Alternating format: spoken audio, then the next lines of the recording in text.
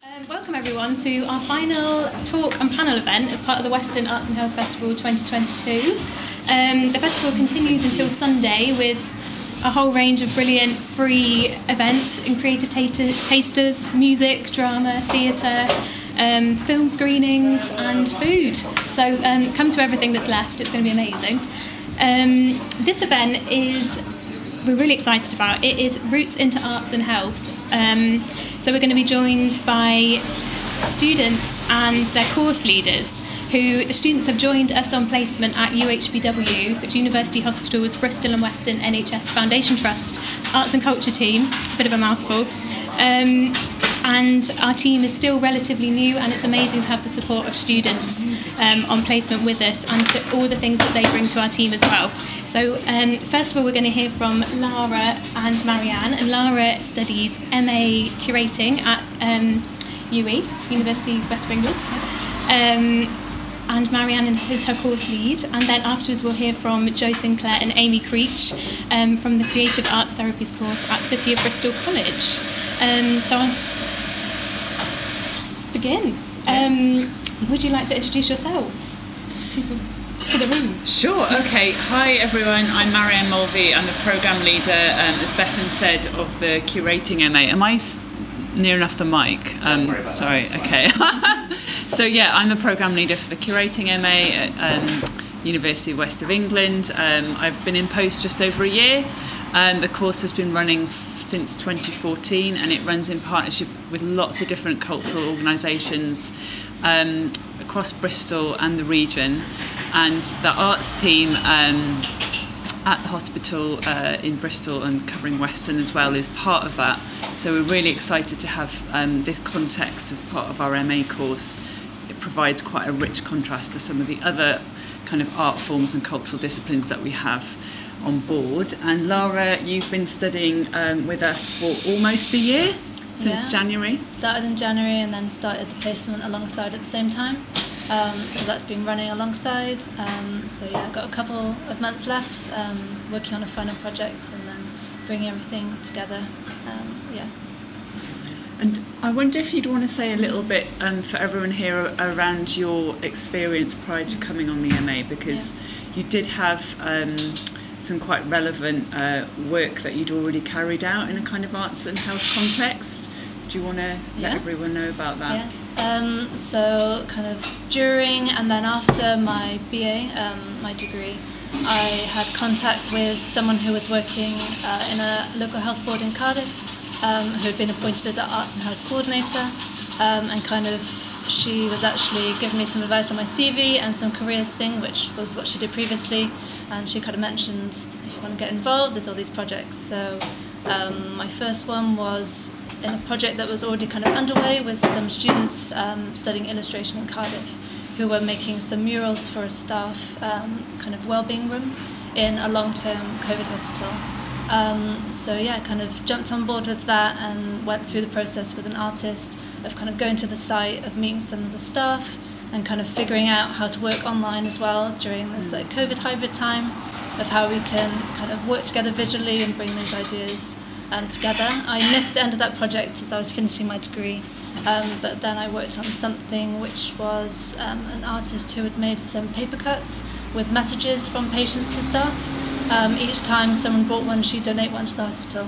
Um, and yeah, worked with some of the staff in the cancer ward at one of the hospitals to kind of figure out a display that would work um, with them hanging, um, yeah, working around some health and safety, but yeah, making that display for them there. So yeah, that was my experience in arts and health for coming on the course. Yeah. And, and would you say that that experience has, has kind of been a good way in? Like, did it provide some context for the way in which you've been working? Mm-hmm I'd also be interested to know what's been unexpected as part of your mm-hmm. work because it's a really um, quite a challenging environment sometimes I think.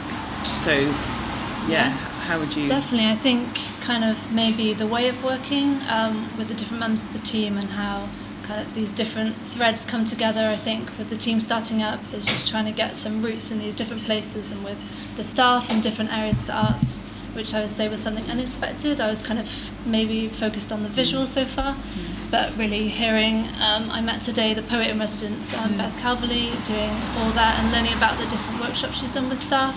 Um, some things going on with movement and dance and music, musicians coming out awards and having the pianos in different places. You often hear people kind of playing in the atrium or different areas around. So, yeah, in terms of art forms, I think that was something unexpected.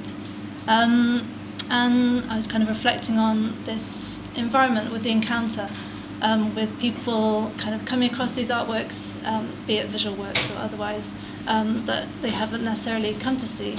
But then unexpectedly expected would be staff who have kind of got used to seeing this work in the corridors and would like if we're there, are we getting new artworks or what's coming next? So yeah, this unexpected becoming something that is kind of yeah had like some routing and people like yeah thinking what's coming next, excited to see, knowing what we do and yeah kind of maybe expecting this to be integrated in the daily life in our store.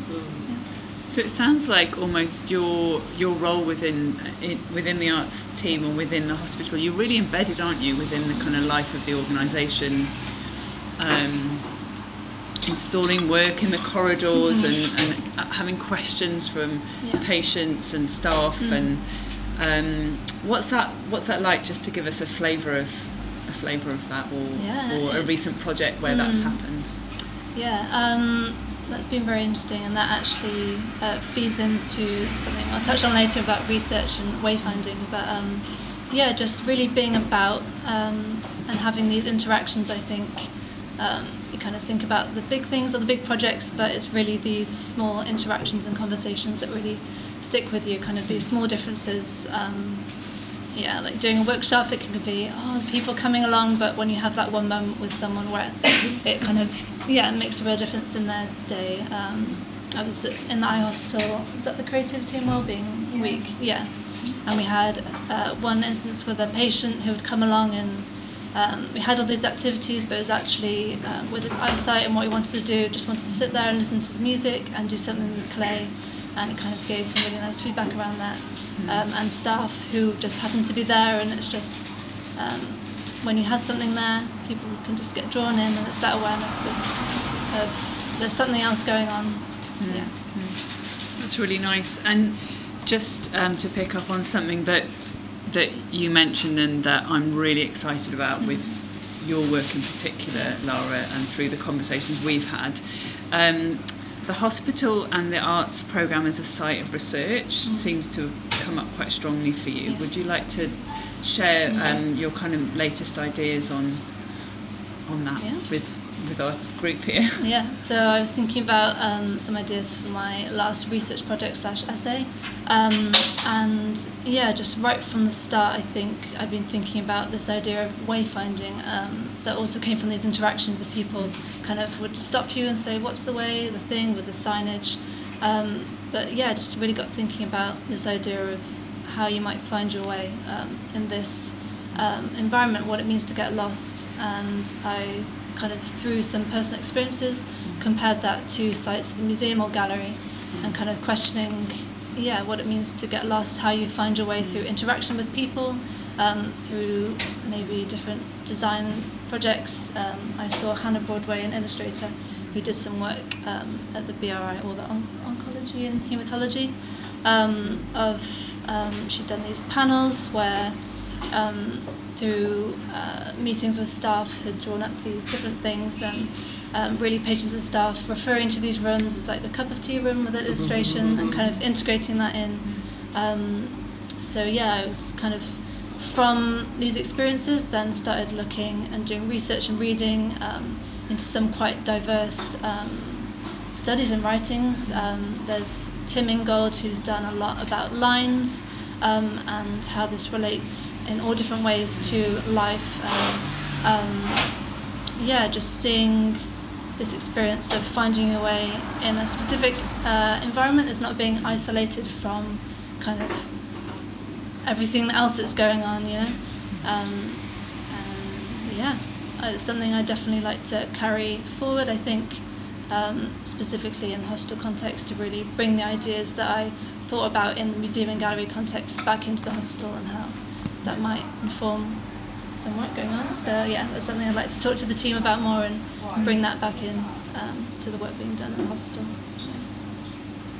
And I think, for like from my perspective, this is such a rich kind of context, and it gets really exciting when I see students um, emerging a set of concerns from their context, working with that um, within the classroom, and then within their tutorials and their essays, and then how that gets fed back into the environment that they're in, and how that might travel across, you know, after their placement as well.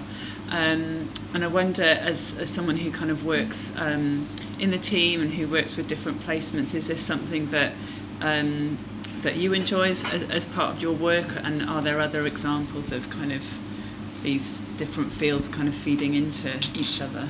Yeah, absolutely. I mean, I'm one of four in the team, but I speak from personal Yeah. experience. I think um, having students on placement is so totally invaluable of just bringing every person has something different inside and has a unique set of experiences and has studied different things and has different passions.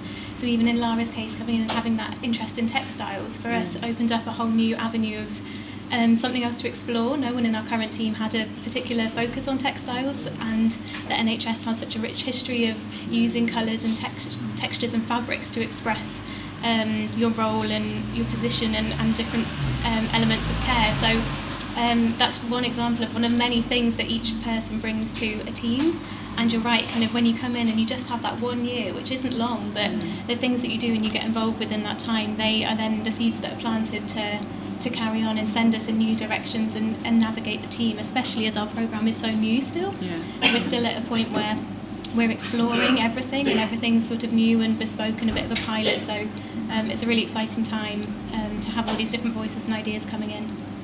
That's, that's really nice to hear, and um, I guess that kind of brings us to your final project in a way, Lara, because um, this is your um, last sort of three months on the course and in your placement, and working towards something um, which you've been um, thinking a lot about with the team over the summer. Um, would you like to give us a little snippet of, of, of your kind of final curatorial project? Yeah, so I'm kind of developing an idea around working with staff um, in a series of sessions to uh, think about the hostel environment and how we feel about it, what our memories are there, how we sense it, kind of looking in a new way um, through the medium of textiles, and to really focus on the process of making and how this can really focus in on and be a way to share these experiences um, in a small group. So yeah, that'll be coming up soon. Yeah, so um, anyone who's working in, in the environment who's interested, Yeah. um, talk to Lara Yeah, afterwards. Here. um, and I think this it kind of ties into um, some other research that you found around sensing spaces of healthcare. Um, so I guess my last question would be um, how how where do you think this MA placement and um, the study and the research that you've been doing and the work that you've been doing in the hospital where do you think this might take you? Um, I think this is something I'm definitely um, in the process of reflecting on, kind of how I see myself going after this. Um, but yeah, I think there's just so much happening now in arts and health in that area. Um, I think I'll just follow it, some of the threads that I've picked up in terms of the research. There's so much that I haven't processed yet, the, the ideas that have come up in the classroom and through the placement. So I think, yeah, just really keep these things going, thinking about them, and I'm just very open to opportunities and seeing what happens. I think, yeah, nothing fixed then. Great. Do you have any questions that you'd like to pick up on, or should we open it up now to, up. to anyone else who might want to ask something, or, or just say something, respond? We're really open. So we've got a question about um, involving patients and having a workshop format where you're working with the patients to all create together. Have Do you want to answer that. Lara, from your experience, and then maybe you can chip in? Can you start? Yeah, sure. so I think, um, yeah, it is absolutely something which is it's a growing area for us in our team because um, during the pandemic, the team was formed not long before the pandemic, and then the the focus um, shifted. Uh, everything what was possible, a lot of things went online, but there were some really brilliant projects that came out of that time, um, focusing on what you could do through print and publishing and what you could do through um, online and video calls. Our poet in residence began to work virtually, um, being poet on call for. Um, I wasn't here at this time, but it all sounds brilliant. Mm. Um, and then post now we're sort of coming more out of that time. We're getting to a point where very recently, in the past few months, we've introduced um, new programs of work in, in partnership with um, North Bristol Trust's Fresh Arts program um, to do for yeah they're brilliant. So they've got Dance for Dementia programs which are now coming to Weston Hospital. I've been to one of their talks in Bristol. Very hmm.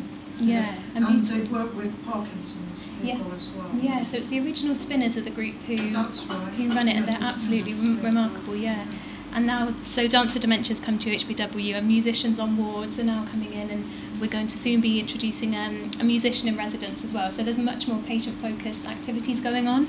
Um, most recently in Dementia and Delirium Action Week, um, we gathered. Were you around for this, Joe? Yeah. So Joe's been actually much more on the participation side of things through her placement, so you're going to hear much more about this. But um, in Dementia and Delirium Action Week, we did some ward-based group um, creative activities around weaving and bunting printing, and um, and also having musicians come and play. So yeah, but actually there's going to be much more about that in Jo's talk. So I'll save Yeah. some. Yeah. that's gonna- Has that impacted the other students in the way that they think about the purpose of art, the purpose of public mm. art, the purpose of art in public space?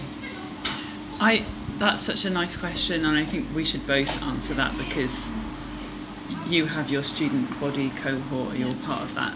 Yes, um, I think it's um, one of the real strengths of the course is that each student works in such a different context and we really come together around our audiences really. How do we orientate our practice as curators in whatever setting we're in towards our our audience?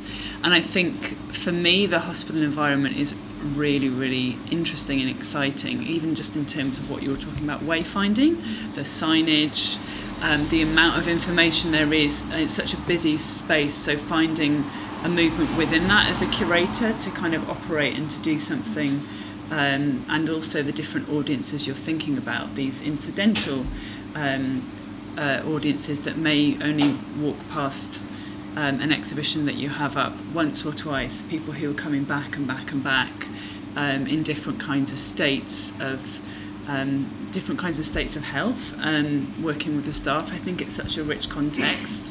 Um, I hope that through the work that um, the students are doing where they present their work, and they talk about um, more informally with each other. We create reflective spaces within the classroom to kind of allow everyone to hear from each other. Um, I hope there's a rich crossover, but I would I'd, I'd ask you, Lara, what you think. Do you think the students are that your friends are learning from Yeah. you and what you're doing? Yeah, I'd say definitely. Um, there's moments in the classroom the presentations or in these discussion spaces where everyone will just bring in little snippets of what they're doing and how it relates, but just as much outside when we're down the pub afterwards and just talking about what we're doing. And I think at the very start, quite a few of the other students were like, oh, I literally had no idea that there was things going on in hospitals with arts and health. Um, and just the breadth of that, I think, sharing that and yeah, I think within these different formats of maybe the workshop or the exhibition, we just yeah we'll talk about how that might differ, all our different approaches and how it plays out because we get to kind of hear throughout the whole process of other people's projects kind of how that unfolds and how they work within their teams. So just Yeah. really showing on that level um, has been really interesting. Yeah. A good few years ago, we were invited to go to the hospital and do some creative engagement and activities on the wards, and the staff didn't join in the same way that they used to join in in the care homes. I found hmm. they were far more resistant to these ideas then. Hmm. I'm just wondering if that culture is changing now and that the hmm. staff are being positive and supportive. Great Um, question. Yeah, Jo. I can answer you that one. I think the staff are super, super busy in their focus of looking after people, and as much as they would love to join in with things, they they don't have that time or that space. Their lunch hour is 20 minutes, and that's probably the only time they might sit down in an eight-hour shift and come off their feet. Um, there's trying to encourage outdoor space. But by the time a staff member walks to that space and walks back, their 20 minutes is gone. But then also, they don't want to be far from their team in case they're needed. So, very much their commitment is to their patients. Um, but then there are other wards with uh, a lead on that ward who's really keen on trying to get more arts uh, art activities to help the staff. Um, so if you get a good lead on a ward, then um, and they give permission for staff to get involved, then they they do get involved as much as they can. So does that help? Excellent, thank you. Nice question. Do you have anything else to add, or does that cover? I think Jo did a wonderful Yeah, job. yeah, yeah, it's really, really interesting. And Okay, welcome back everyone for part two uh, with uh, Jo Sinclair and Amy Creech. We're going to be talking about Jo's experience on placement with us um, from the Creative Arts Therapies course at City of Bristol College.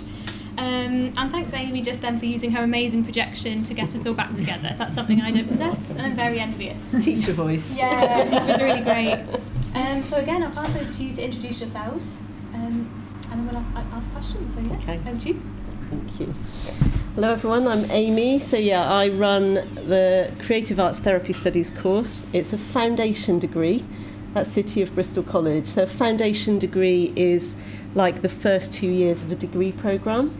Um, and the idea is that they're a bit more vocational, sort of higher education, but with a vocational focus.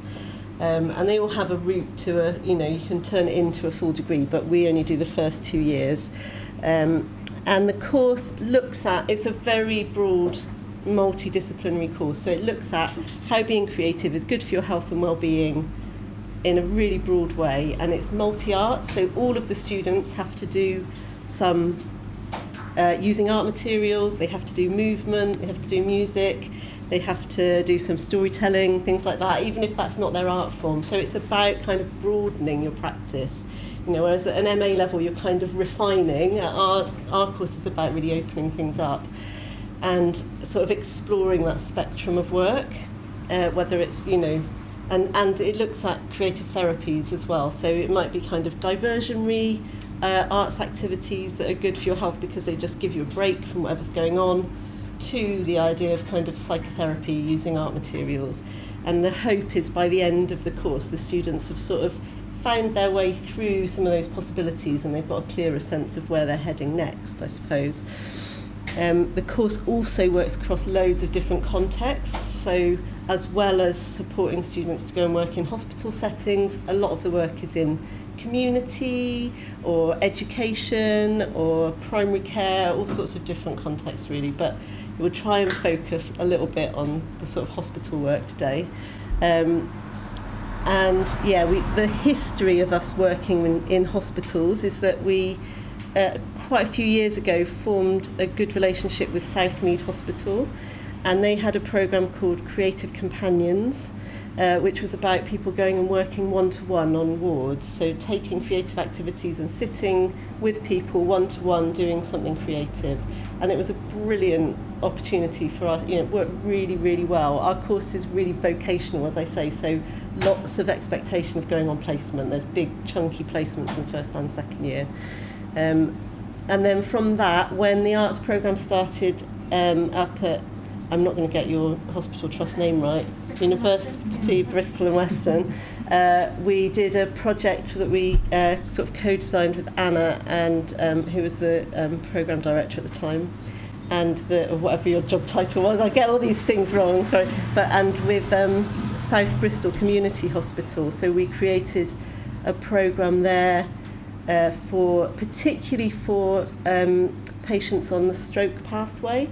So they were sort of people that were in hospital for quite a long time potentially, and um, we had a you know talking earlier on about ward leads. We had a brilliant ward lead there who uh, was had this thing about there was this piece of research that showed if people walked to the room to have lunch, then it made a really big difference to the falls, to the risk of falls. So they were like, okay, we need to get people actually going and having lunch together in the, the sort of day room.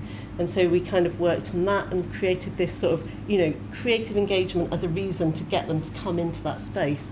brilliant project. All these things were really exciting. And then, of course, COVID, lockdown, nobody can go on the wards. That was a sort of really big change. So, yeah, everything kind of rolled back, and we were doing lots of kind of send, you know, creating uh, packs and sending things, and and then, so Jo's our first sort of post. uh, lockdown student back in the hospital. So we're very excited at this point for it all to be kind of happening again and opening up again. Yeah, sorry, I've rambled on for ages. Hand over to you, Jo. I've got far too much to talk about. yeah my name's Jo Sinclair and I'm a mature student So, um, the reason I chose to this course is um, I have a background in social work. I was a probation officer for quite a few years, came out of that, had a family, um, worked with home ed children, set up my own little business, um, but knew that I, I didn't want to, don't want to go into art therapy or art psychotherapy. So this course was perfect, is perfect for me because I'm quite familiar with the creative, but um, as in the art, doing art and crafting things. But I'm not so familiar with using movement or words and poetry and music. So I was really interested in how I could bring those things into um, into possibly work. Um, I think I want to aim to go towards social prescribing is what my uh, aim would be. So yeah, so that's how I came to the course, and I'm very pleased I have done. And did you get to choose your placement at um, in a hospital environment, Jo? Absolutely. Um, I, chose, I, I, wanted to do a hospital in, environment placement because I felt that would fit in the jigsaw piece that I would be missing really on mm. from social prescribing out in the community and how that linked mm. into people coming out of hospital and potentially moving into some sort of creative thing to help them and their well-being. So um, that was my driver for the hospital, and badgering Amy, going, oh, "Please get me in." so yeah. Yeah, yeah. And um, what did a typical day on placement in the hospital environment with us look like for you? Um, uh, 'Cause so yeah, your, your, your first challenge: locate where you need to go, definitely. And there's AC this and all of those things. So it gives you an idea how it is when someone comes into a hospital as a patient unwell, um, as a visitor worried about your loved one that's in the hospital and you've got to try and locate them and you maybe you've had to try and park and all that stress of just literally getting there. As a staff member over overworked um, and just really really doing your best. Um, so that gave me a really good uh, a good sort of like wow wow sort of insight into uh, the hospital environment. Mm. So mm. yeah, so a typical day. It evolved in the short time that I was there. Um, so they were just coming out of the COVID, and then I was absolutely amazed at the speed of such a small team moving forward, and the absolute passion uh, they have for what they do um, this team is an amazing team.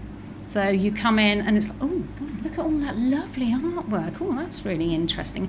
How did they do that in that short time? And then getting on towards, um, there's a lot of things they try to do, and quite often, oh, well, that didn't work and that didn't work. So it's like, right, okay, let's see if this works instead. So there's, they are committed in finding a way to provide a service to three groups of people, and you don't often get that when you are in a workspace. So, of the staff, the visitors, and your patients. So, it's quite a huge remit to cover. So, yeah. And um, I wonder, Jo, did you have a sort of a favourite or a most memorable moment from from your time on placement? Because you did do a lot of work out with patients and with staff, um, participatory work across mainly visual art and crafting, but Mm. also some music. Yeah, yeah. So I think um, there would definitely be there'd be my one regret and my one absolute brilliant moment, and that was um, a pianist came in and they came into the atrium area, which is a huge, great big lobby area. Played for a little bit, lots of people going past, quite a lot of clapping, and then said, right, let's move, let's move onto a ward. So we went onto an older people's ward, and there was a family sat next to the piano player and one of them just said, I don't suppose you know the Yellow Submarine by the Beatles, do you? Because their grandfather, father was on the ward, uh, it was a dementia ward, and he loves that song. So they, started playing, and then the staff, to get actually get patients, to get a patient somewhere, getting them out of physically out of bed and moving them to a space is quite a big ask to do. So they brought that patient, and their grandchild um, took that patient's hands, and they danced to the music together. And that was such a moment because it hit every generation in that family, and it meant that person mm. had actually physically moved as well. The music had probably lifted the souls a little bit, but they had a huge, huge moment. And then my one regret is there was a lady that came along, a patient on the ward, started dancing, and I didn't dance with her. And I really now think, oh, that could have been such a moment if I'd have danced with her. So um, I was very British and didn't. so, so yeah. Uh, it's amazing you bring that up as well, Jo, because we were talking just the other day that the reason that piano ended up on that ward um, was f- from a very unexpected request from um, from the ward. Uh, they wanted a piano for um, one of the, the people on the ward to play because when he was at home, he'd play the piano for two or more hours a day, and when he came into hospital, he didn't have that.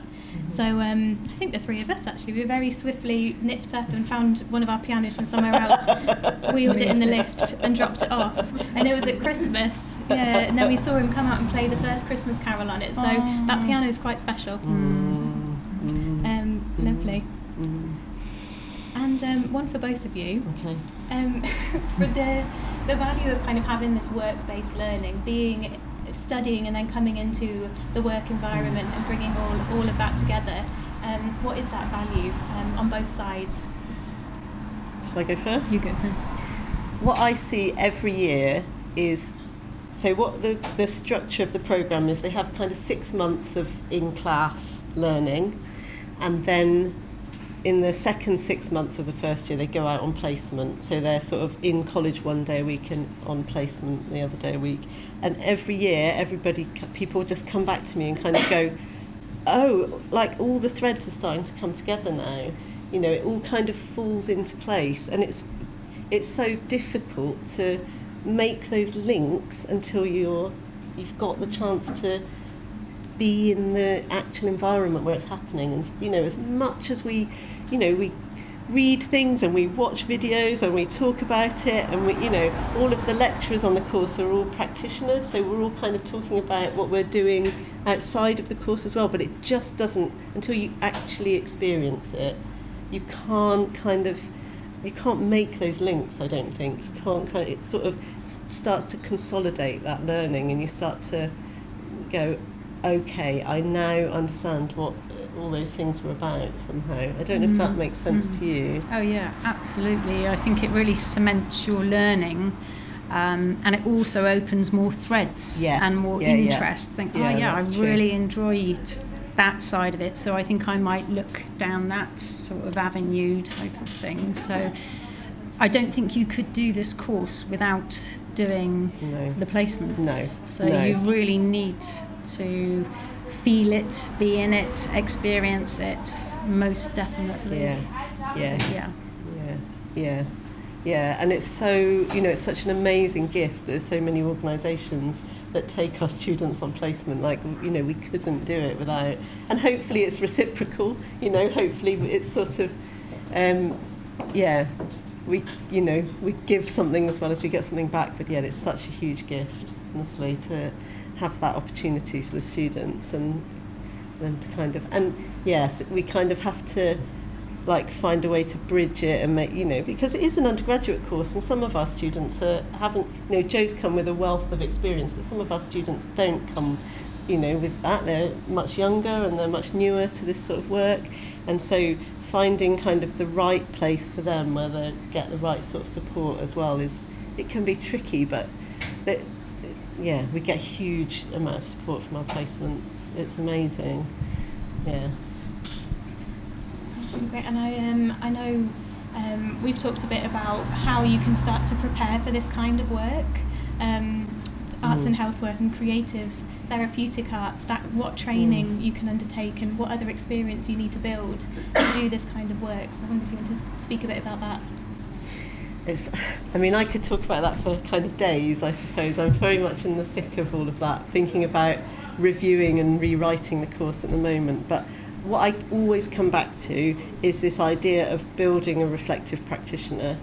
You know, at, particularly on a course like ours, which is so broad and so diverse, students go in so many different directions, we can't possibly prepare them for every eventuality. And so we have to hold this kind of core practice of how do we stop and think about and reflect about our work and how do we interrogate it.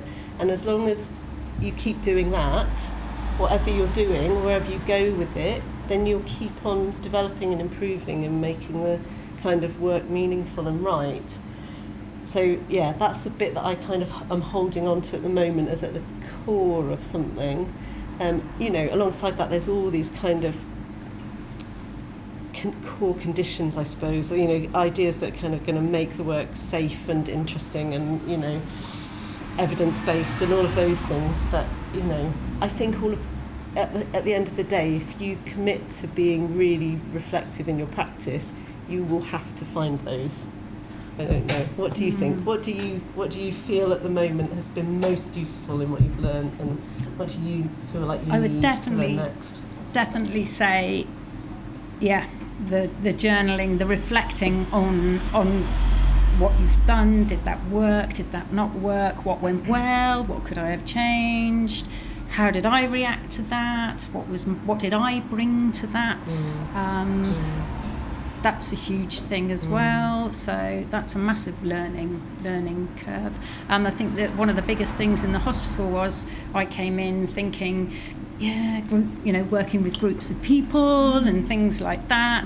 When actually the small wins are the biggest wins. Mm. You know, I've sat mm. with a lady and we chatted about knitting and things like that, and having just having that half hour with that person who probably all they've had all day is just traffic in and out of their room sort of thing. So that connection um, learning a lot about connection and also about learning from other colleagues on the course how they operate how they work because we're all very different so different learning styles. So it's good that you get to sort of work alongside different people's ways of working. We do a whole module on drama and a whole thing about how you fit with a group. Um, so we experience everything as if someone comes to a group with you for the first time. That thing of feeling awkward, who shall I talk to, where shall I sit? So the whole course gives you that whole experience that the people that are going to come to any of your workshops or any of your work they're going to have those feelings too. So it just gives you that bit of insight, I think. Yeah. Massively. Yeah, it's so important. That's yeah, really great that you've picked that up and that kind of you know. And I think that the multi arts aspect of it really does that as well. You know, so everybody's going to have something that they're like, I'm really no good at this. I don't know where to start with this. You know, and and actually you need to know what that feels like. Mm. And people really avoid that, especially if you're really accomplished in one creative form, you know, and a lot of people that are facilitating work are really accomplished in their creative form. And you, you can forget what it feels like to be completely terrified of it, you know. So, yeah. What would you say would be the upper age limit to come and do this course? Because I'm in my 60s Oh, we don't have an upper age limit, absolutely. We welcome, you know, we've had many people who are grandparents and, yeah. It's it's it, it's a really broad. Um, that, that's the thing I love about it most, is that it um, we have people that have such diverse life experience. You know, people with different creative practices, different work backgrounds, different uh, whole different life experiences, and that's what makes it really rich. And it is all about the group. You know, they learn so much from each much more from each other than they do from the lecturers, I'm sure.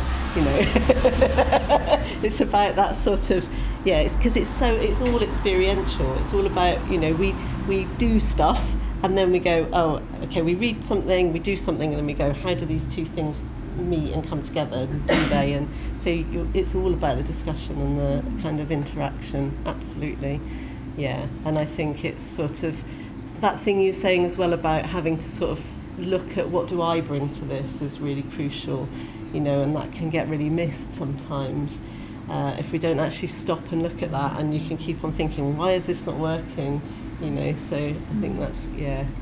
And I've become really conscious. I'm a high energy person, and I bring high energy to something. Um, and that's not always the right energy to bring. So, uh, you know, I wasn't quite aware of that before, but I am so much more aware of that. And then you become more aware of the space you take and um, matching your Mm. energy with where somebody is at, and maybe sometimes you need to up it, you need to lessen it, those sorts of things. So the course gives you a huge awareness. Uh, um, what's the word? It just suddenly makes you so much more aware of self as Yeah, well. yeah. So, yeah. Um, do, do you work with cancer patients as well? Not that I ever have done. Uh, we've had people work at Penny Brohn, do placements at Penny Yeah, I Brohn. Penny Yeah, Brohn yeah, yeah. That I think that's the main kind of. Yeah, I know that there's a really interesting arts, some really interesting arts, um, arts and health groups run by Fresh Arts working with cancer patients as well at the moment. Yeah, yeah. Any other questions? Yeah. Seems like we've moved naturally to questions. You you've spoken quite a lot about how you guys do um, a lot with arts and crafts and stuff. Um, do you guys focus in on people's um, like their disabilities and learning how to interact with people that have different uh, mental capacities? we we do look at it a little bit. Yeah. Like we kind of in the first year we do some initial work, don't we, on thinking about how you need to think about working with people and how you need to with whoever you're working with think about you know what's right in this place and with these people to make it appropriate to make it accessible. We have a kind of some specific focus on social model of disability and how you work with that and we have a great visiting lecturer that comes in every year to do some work on that. Um, but because the course is so broad as I say it very much depends on where the students end up going and what their their particular interest is as to what focus we need to sort of particularly look at we can't can't possibly train you know give people specific training for working with specific every specific group they might work with Right. does that make That sense sense. So it's sort of yeah it's sort of responsive a little Yeah. bit to that particular group Sounds like if you tried to teach everyone absolutely everything, you'd probably get a bit more of a loss. Then. Yeah, yeah. You just can't, you can't. That's why I sort of said about you have to focus on building a reflective practitioner because, uh, you know, there's some things that we need to think about. We need to think about what's it like to work with people with dementia and what do we need to, you know, be aware of. There's certain kind of groups of people that you will, you know, are very likely to need to kind of have a, at least a starting point of working with. But if you go and work with people with dementia all the time, you'll have to do loads more thinking about that, mm, you know. Definitely. Yeah. And I think it's also the, the more academic side of the course as well is you're encouraged to sort of read around something that interests you so to to look into it even more and then that, that takes you down another thread another Yeah. avenue sort of thing so there is there is the written work and the, the theory stuff to do mm, yeah. behind it all. Yeah. Um, which again is, is, brilliant because someone like myself who hasn't studied for quite a long time, it's really interesting to um, to go back and look into all the new thinking or old thinking. Yeah, yeah, yeah, yeah. Oh, fantastic. Thank you. Uh, the same sort of question about cultural diversity as well? Is there somewhere in the course about uh, yeah, it's again, it's the same sort of thing. You know, yeah, we sort of st- we start. What I feel like we try to do is just open up some boxes. We Go okay. So the in fact, the reading that Jo's got to do for next week is about that very subject, and we have a sort of session thinking about, you know, what does that mean for us as practitioners, and what's our responsibility, and where do we go with that. But um, we could do a whole course on that. Mm. You know so all we can do in this sort of in in this sort of foundation level is begin to open up these ideas for people and help them start to think about yeah actually what what does this mean for me as a practitioner? What do I need to kind of really question unpick start to think about? So yeah I don't know what I think. I would say the first project we did that we had to deliver to the rest of the group, um, I did a Christmas tree sort of theme. Um, it was just a rough, uh, it was a big piece of paper and in the shape of a Christmas tree, just small circles that people stuck down. And on those circles, it was about the five ways of well-being.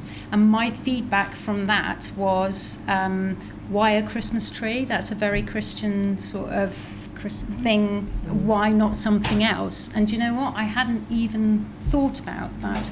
So I think, yeah, the course and Amy and they will definitely pick you, just up. try and question everything. It's not saying anything's right, Right or wrong. wrong, no. It's just making sure you're always asking Awareness, isn't yeah. it? Yeah, just Yeah. becoming more and more aware and not complacent.